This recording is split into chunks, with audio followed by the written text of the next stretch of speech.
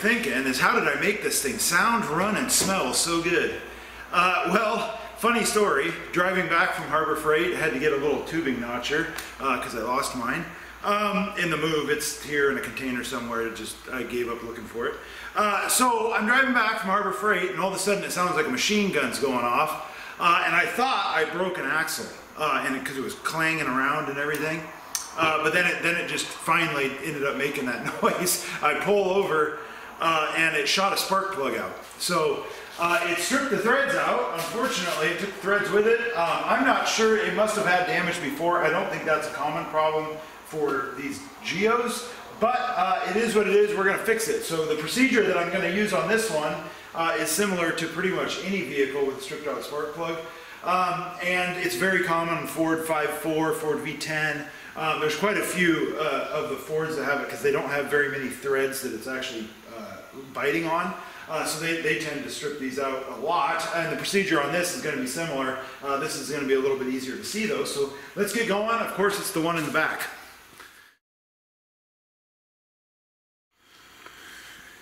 All right, there's the hole. So we got a good camera angle on it. Um, so the threads are stripped, but as you can see, if you can see in the camera, the it has a lot of threads. Um, so it's really surprising that those stripped out. Uh, someone must have over tightened those at one point. Um, I don't tighten spark plugs super tight, and, and that could have caused it too if I didn't get it all the way tight. Um, but one thing I did notice on this thing, when, we, when I very first got it, before we changed the spark plugs on it, it had what sounded like an exhaust leak.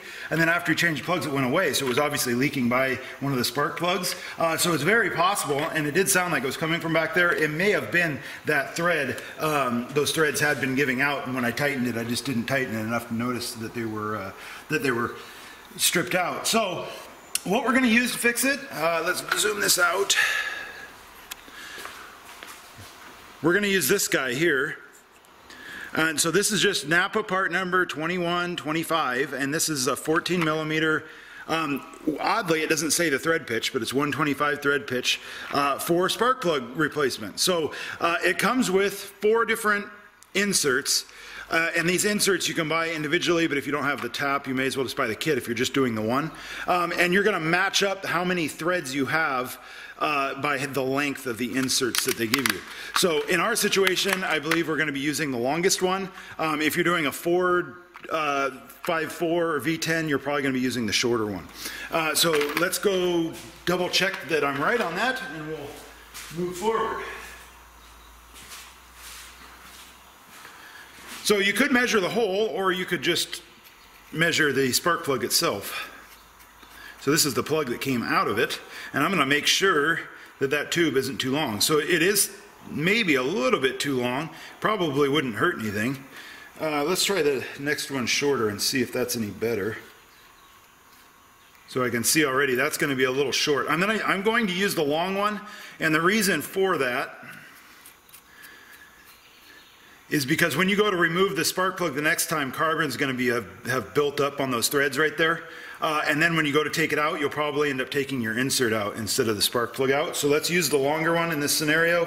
Um, if it were sticking out beyond your electrode and stuff, we'd, we'd have to shorten it. Um, that, that would just be the reality of it. But this should be okay uh, the way it is, especially once we tighten it and squish that a little bit. Uh, that should be that should be plenty fine uh, in there. It's not going to hit the piston, or that would hit the piston. So that should be good. So let's move the motor to top the, uh, so that that cylinder is, is straight up. Uh, and then we will move on from there. So I'm going to show you a little trick if you're by yourself when doing that. Uh, put it in fifth gear if you're a manual. Uh, and then you should be able to push it and it'll actually turn the motor and you'll have pretty good leverage on it. There it is right there. All right, so I'm gonna spray brake cleaner in the hole and then we're gonna immediately blow it out. I don't want it to soak through the rings, soak past the rings. And it's probably gonna get all over the camera.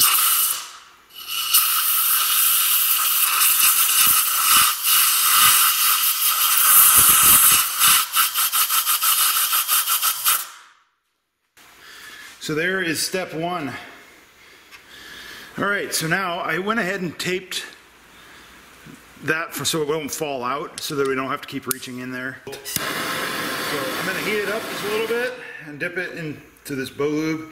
You could use normal cutting oil too. I just really don't want to make anything that makes the chips stick. But if you, as long as you keep just the cutting oil on the tap itself, hopefully they won't. You won't get too many sticking inside the cylinder there. We are going to blow it out, and it is just aluminum, but at the same time. So make a 90 with it. And I'm just going to put an X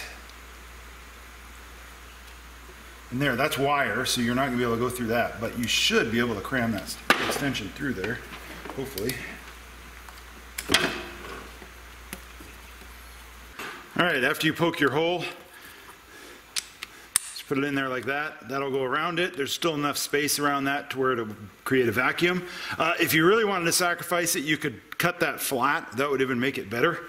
Um, potentially better. If it seals up too hard on there, it won't actually create vacuum. So having a little bit of an angle probably isn't going to hurt anything. Um, so let's turn on our vacuum and get to cutting.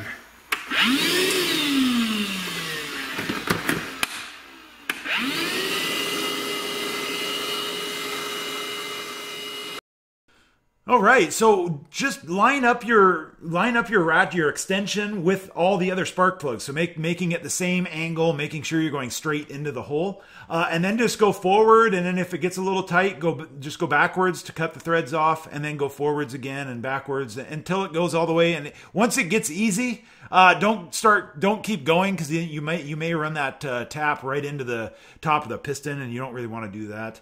Um, most likely, it wouldn't hurt it, but you don't want to do it anyway.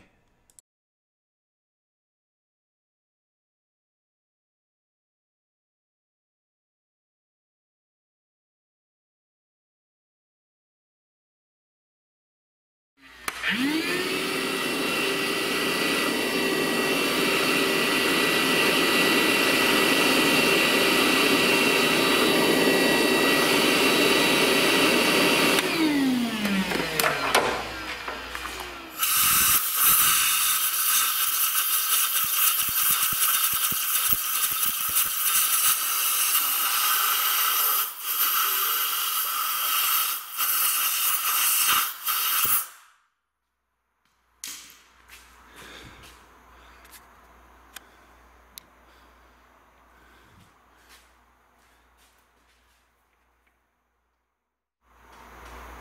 I don't see anything in there now.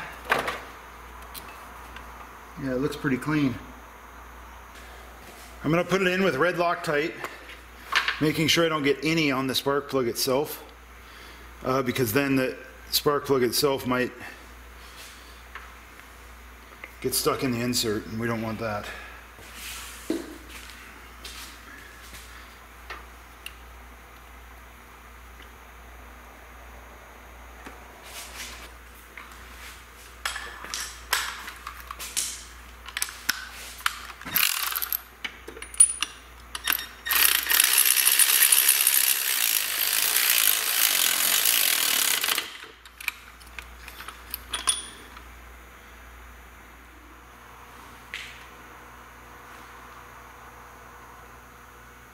There we go. It's in there. So now that Loctite will dry and then the next time we go to take that plug out, hopefully that thread insert will stay in there. If it doesn't and it comes back out, we'll have to get another one and then try that again. But uh, worst case is the thread insert comes out next time we go to change plugs and we have to get another thread insert. Uh, but it most likely won't happen because this will dry and that will hold that in there really good, this red Loctite. Uh, let's put the intake back on, start it up, make sure it doesn't shoot out of there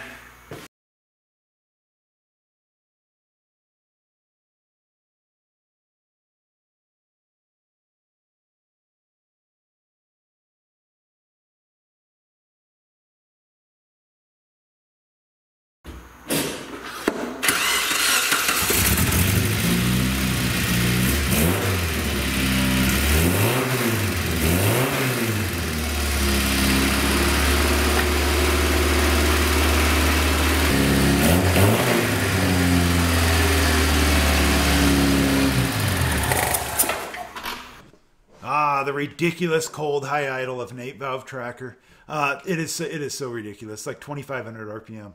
Uh, but anyway, uh, thanks for watching. Uh, hopefully that was helpful to you. Uh, this is your what you're watching right now is the Death Toll Dooley shooting flames at the No Balls Car Show. There's a link to that video in the description below. That video didn't do very well. Um, I don't really know what's wrong with it. Uh, I think it was, I think it's a really cool video, and not very many people watched it. Um, so anyway, check it out. Uh, the links in the description below. Otherwise, we'll see you again real soon. I got lots of cool stuff going to be coming out on this channel over the next year or so. So uh, hang in there and hit that subscribe button and everything else that people have cheesy ass lines for. Uh, and we will see you again real soon.